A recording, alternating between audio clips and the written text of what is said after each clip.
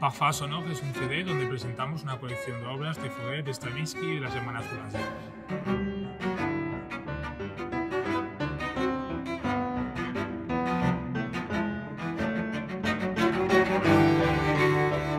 Reúne algunas de las piezas más conocidas del repertorio chelístico, así como transcripciones inéditas para violoncelo y para piano.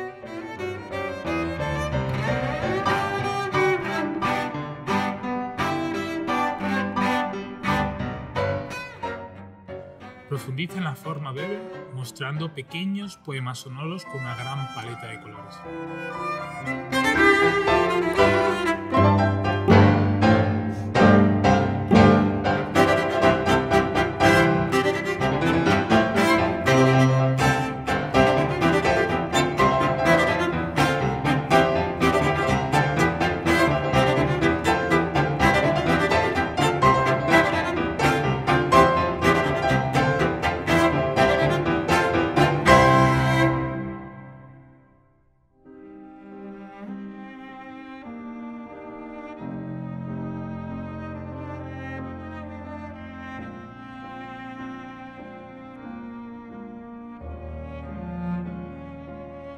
Concebí este proyecto en época de transición.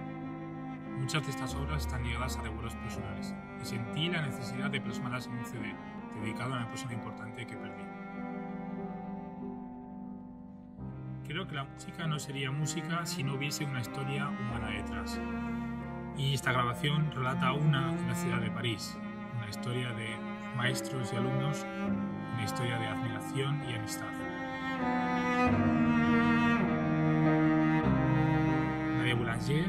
Fue la profesora de Stravinsky y junto a su hermana Lily tuvieron a Fauré como mentor en sus inicios musicales.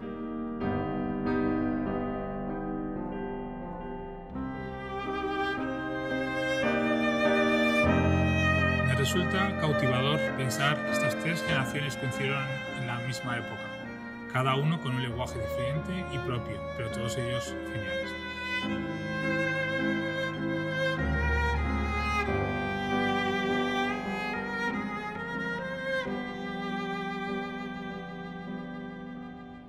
Bueno, y con todos estos componentes emocionales ha sido un placer haber compartido esta aventura con Jorge Nava, un músico fantástico que creo que nos une una misma filosofía musical y, y sonora.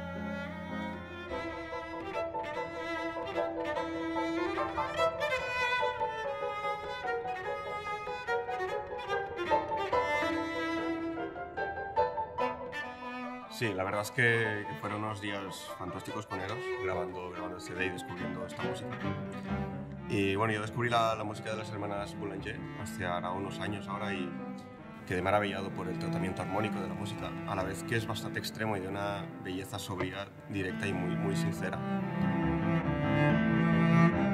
Muchas de las obras grabadas son transcripciones de, de los propios compositores sobre piezas escritas para otras formaciones. Y Eros y yo hemos querido continuar con esa inercia, presentando la primera grabación de un boceto que inició Lili sobre los dos últimos tríos para violín, piano y violonchelo, titulado De un soir triste y Matando Putam.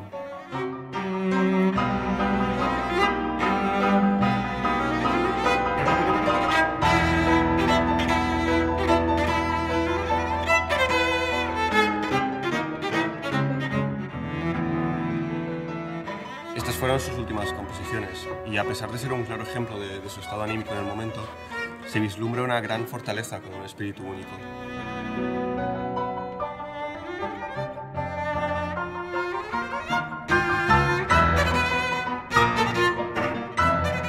La grabación ha sido todo un proceso emocional complejo y nos ha invitado a revivir muchas de nuestras propias historias.